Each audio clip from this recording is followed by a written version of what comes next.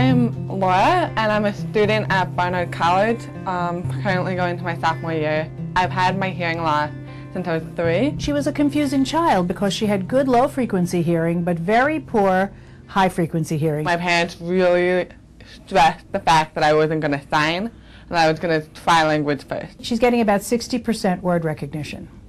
So she's really missing a great deal. We're really excited about the prospect that, that NAIDA will make a big difference for her because it's going to enable us to transpose the high frequencies into an area where she has hearing. I'm really excited to see what will happen with the NAIDA, um, what it can do for me in the classroom, what I'm actually missing.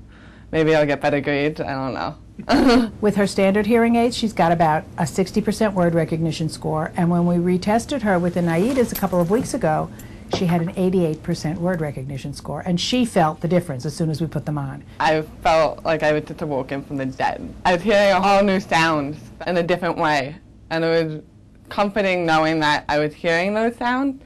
Kind of scary knowing I was missing them too. They sound louder, but not obnoxiously loud, and clearer.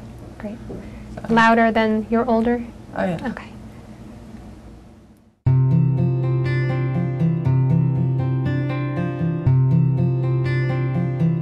I started classes and I've noticed a change in my note-taking skills because now I'm not struggling to hear every word the professor says, but rather I'm hearing every word the professor says.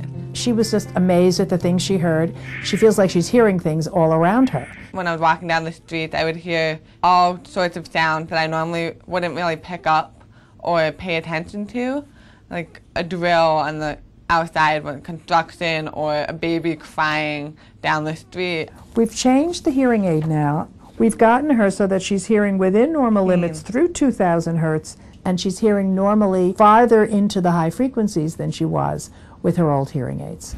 Leash, leash, leash. Leash, leash, leash. Yes, lease, lease, leash. S,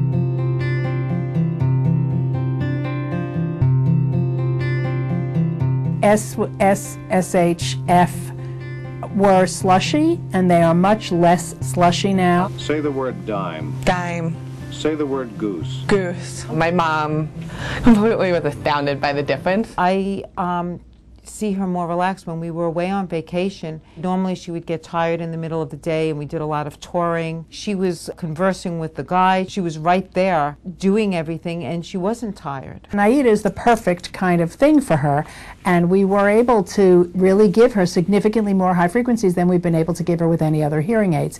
And you can hear it in her speech production. Overall, I really like the Naida. Um, they're the best hearing aid and the that I've ever could have like I could never imagine anything like this. Um, it's it's been it's been great, and I haven't really had any problems with them, and they're they just they work fantastically, and I, I would do this all over again if I if I had to.